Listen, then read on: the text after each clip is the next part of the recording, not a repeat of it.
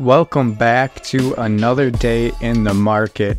And take a look at this drawing that I drew um, some couple days ago, maybe a couple weeks ago by now.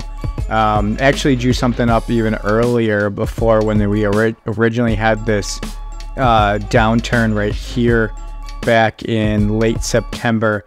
And I, to be honest, I did not expect the um, price action to follow my drawing quite accurately or quite as accurately. Really, the point I was just trying to make is that we're probably due for another significant leg up once we bounce off of or once we hit this market bias indicator because this market bias indicator right here generally acts pretty consistently as either a support or a resistance. So we got some action down here we did consolidate and even before um, when I drew this line and we had this day right here um, on the 28th of September and then also the 29th of September where we shot up on the 28th and then kind of got rejected um, on the 29th I, I said you know even my drawing right here that might have just been it.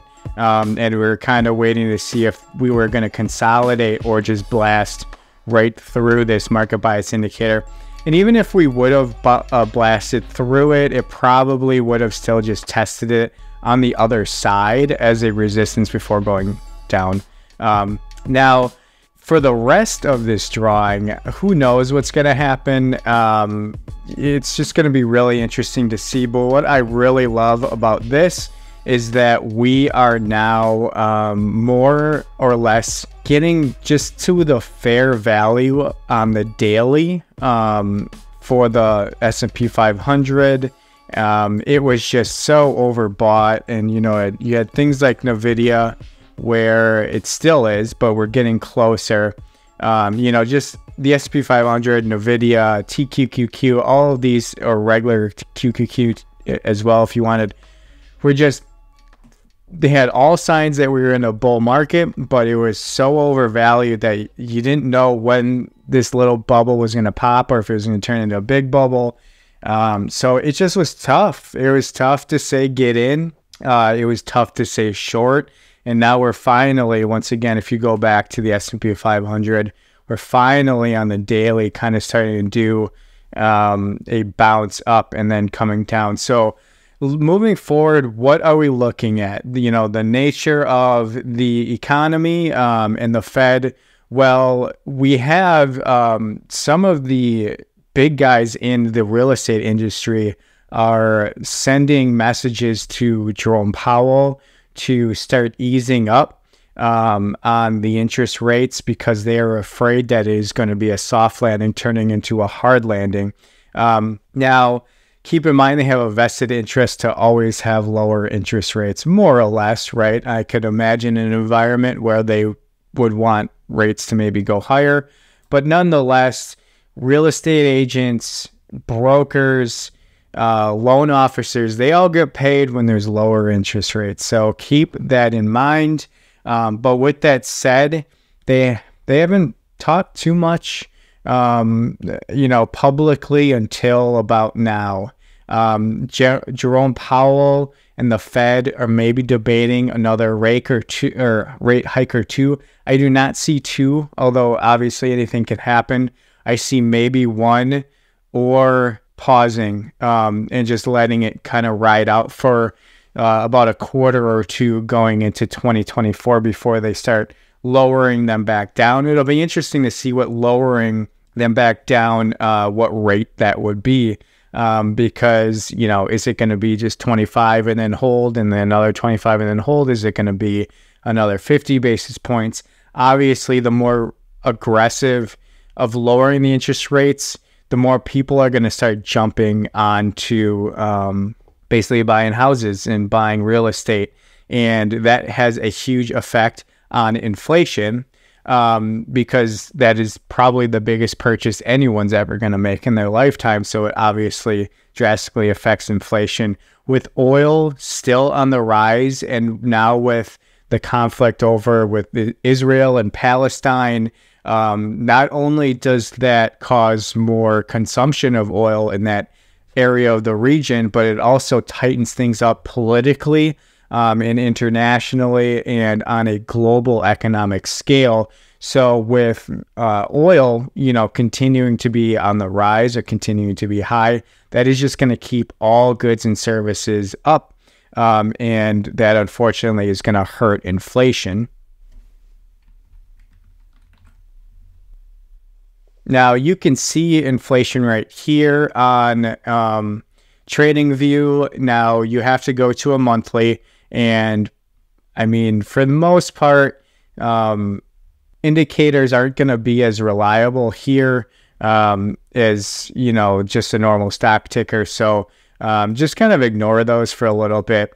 Um, this was the beginning of the pandemic when everything started to shut down. We started rising. We peaked in June of 2022, and we've been on a steady decline ever since then until about June of 2023. So we had about a year. And then as of August, um, which is the latest that um, TradingView has plotted right now, um, we actually went up slightly. So we went from about 3.3, or I'm sorry, 3.03 to about 3.6. So um, almost about a half a point, which can be pretty significant. Um, you know, we're talking about a little bit of a percentage here, percentage there, but you got to remember 10% of inflation of 2022, for example, and then a 3% inflation in 2023 does not mean that we decrease prices by 7%. What that means is we went up 10% of costs of everything across the board, 10% last year. Um, and then on top of that, we only increased inflation again an additional 3%. Um, so that's something to keep in mind that the pain isn't going to go away of inflation. What we want is a stabilized economy um, and just getting prices under control. Now, here shows the largest year over year cuts in asking a rent um, as of September of 2023. Uh, you can see all across the board, board Boise, Idaho down 6.2%, Austin down 5.6%, which is pretty significant considering Austin has just been um, booming in the past couple years.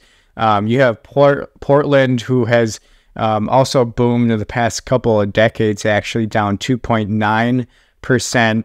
Um, and none of these uh, are, are really in one particular area or not. Now, my particular market um, is doing quite well, actually, um, geographically, because I'm close to water. Um, and by water, that definitely has an effect. You know, Boise, Idaho, there's a lot of area to expand out of. Um, even in Las Vegas with Nevada, just a lot of land to work with. Um, but nonetheless, I mean, San Francisco, you know, historically has been hot. It's cooling off. Nashville historically has been hot. It's cooled off a little bit. So, um, you know, Portland again to go back to Florida, Orlando down 3.5%. So this is showing that the interest rates are starting to take effect. Um, have we seen it necessarily in individual housing prices? Not not too significantly, a little bit. Um, there is a little bit, but it's more so what I think is the beginning of what we're going to see, which is why I believe um, some people in the real estate sector is kind of warning the Fed to slow down a little bit. And just another little quick thing, uh, just bureaucracy doing bureaucracy things. New challenge for apartment developers, permits taking even longer. September of 2023 up significantly. Last time it was even close to being this high was September of 2022, um, but it clearly is an outlier compared to all of these previous months. And you can see this here. Apartment demand is normalizing in 2023, so that is actually a good thing.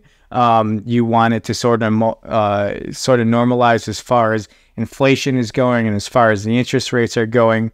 Um, Eh, obviously, if you're in um, a, a, big real estate developer, you want to keep these rents high. Um, but hopefully, uh, materials are also going down for you, and that is thus allowing you to lower your rents.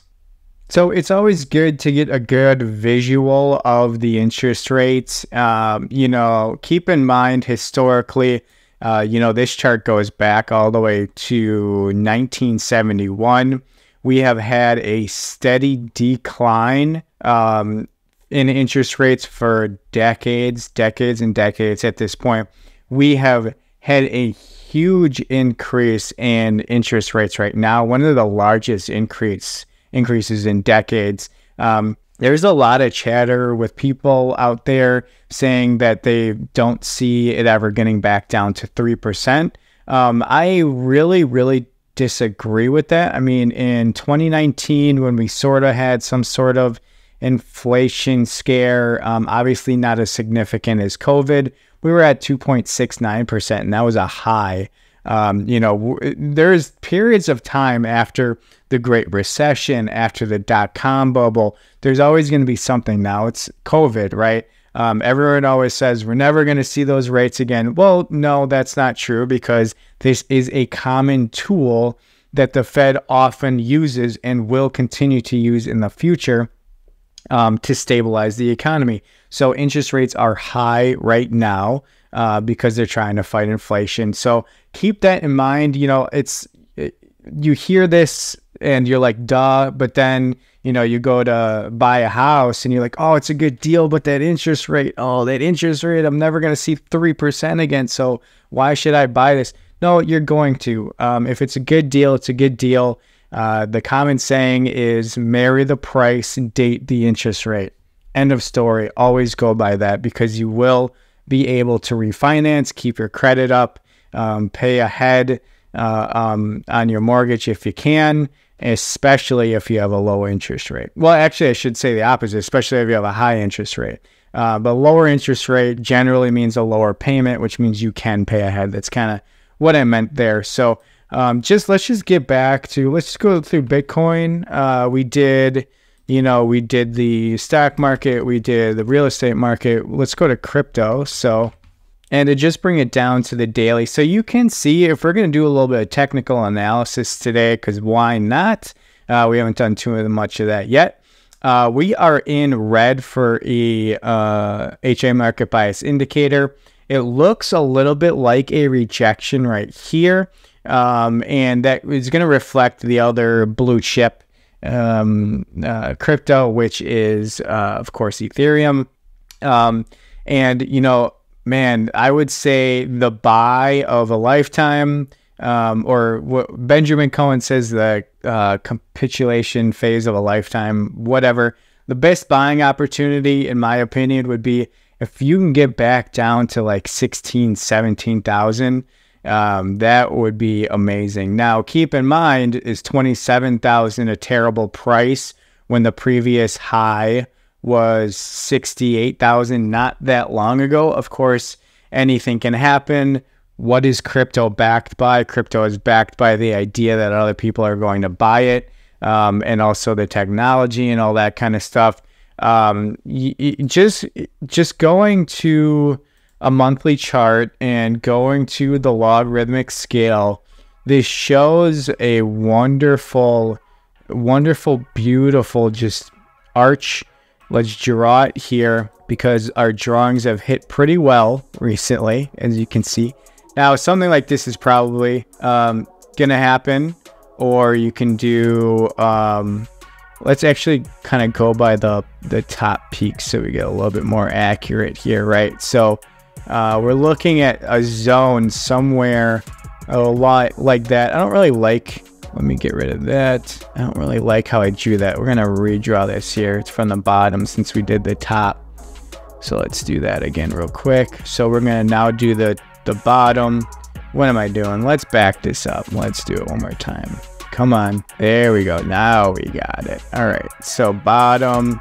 This is obviously a very rough, rough drawing, you know, so a top, top could come up. What is a top gonna hit potentially? Uh, let's see, I can't see it.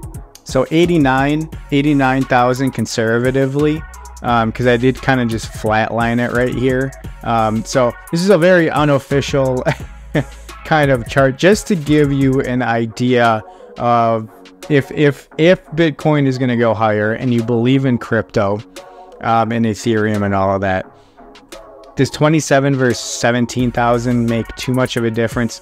No. The best thing to do if you really are a believer, buy at 27,000, buy more at 17,000. If it goes below that, okay, now start to reevaluate, right? Um, do you want to buy more or do you want to sell out of your position, right? So that's all I got for you today. I really appreciate all the likes, comments, subscriptions. Do me a favor and just hit the like button. It's the easiest way to help out the channel. Until then, we'll see you next time. Thank you.